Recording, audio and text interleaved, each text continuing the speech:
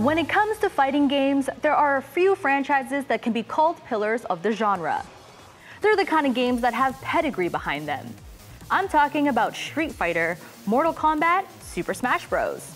Those franchises are great, but they have one thing in common. They're all 2D fighting games. When it comes to 3D fighting games, there is only one king, Tekken. And I'm not just saying that because it literally has a character named King in it. Tekken wasn't the first 3D fighting game, but there's no doubt that it's the biggest today. Across 25 years, Tekken has cemented itself as arguably the greatest 3D fighter because of its longevity. That's not to say there weren't struggles, but the series has thrived by overcoming them. So today on Game Files, we're going to take a look back at the history of Tekken.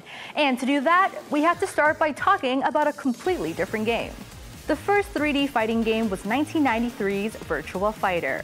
Developed by Sega, the fully 3D models along with the 3D movement was unheard of for fighting games at the time. The tech involved in creating Virtua Fighter attracted a lot of attention from Sega's competitors, particularly Namco. At the time, Namco just wanted to make a test case for 3D characters, using technology derived from the company's new racing game, Ridge Racer. A fighting game was not on the table, until Namco ended up hiring a lot of developers who worked on Virtua Fighter, including the game's lead designer. Having poached people from Sega, Namco aimed to surpass Virtua Fighter with a game that had better tech behind it, more intuitive controls, and memorable characters. Originally called Brave War, the name was changed to Tekken just before it hit arcades in 1994. To this day, a Tekken game always releases to arcades first before it launches to a console. After all, you've got to respect your roots. But Tekken's future was ensured when it was released for Sony's first ever console, the PlayStation. As one of the first titles for the platform, Tekken became synonymous with PlayStation. So when sequels to Tekken were developed, it was natural for them to release on the same console. Tekken 2 and Tekken 3 boasted huge improvements over their predecessor, selling millions of copies worldwide between both games. And players and critics loved them. Tekken 2 is regarded as one of the best PlayStation games ever made, while Tekken 3 is one of the greatest fighting games of all time. This reputation was achieved with three games in the span of four years. But one console can't last forever, as the PlayStation 2 would be released at the start of the new millennium. Seeing as how Tekken was one of the biggest brands for PlayStation, expectations were high for Tekken 4.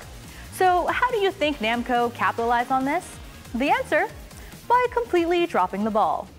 Tekken 4 was an experiment, adding interactable walls and obstacles, slower, more methodical fighting, and a host of technical improvements. It was an okay game, but many of its ideas weren't fully fleshed out, and players complained that it was far too realistic and boring for a fighting game. As a result, developers went back to the drawing board for Tekken 5, aiming to improve upon the elements that made the original trilogy so beloved, namely by making the gameplay much faster. And it worked, as Tekken 5 would revitalize interest in the franchise and go on to sell 6 million copies.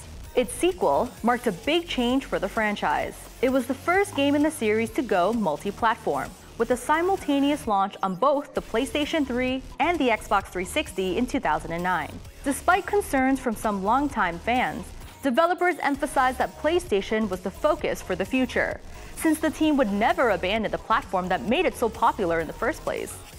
It's a nice sentiment, but let's be real. Going multi-platform means more sales. And you know what else increases sales? More spin-off games. Tekken has seen a lot of spin-offs in its history, but the most notable came about in the 2010s.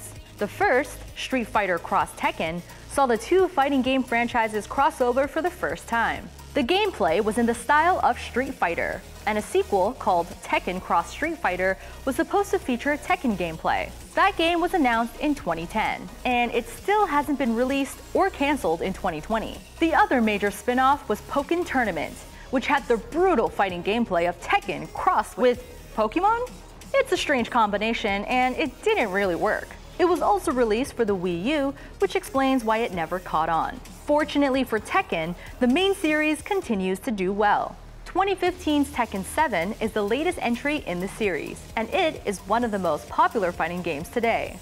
It's famous for how easy it is for newcomers to pick it up, and it boasts one of the biggest competitive scenes in the fighting game community. If you haven't played a Tekken game before, Tekken 7 is an excellent place to start. And with annual DLC releases still ongoing, it looks like the game, and by extension the franchise, have a lot to look forward to in the years to come.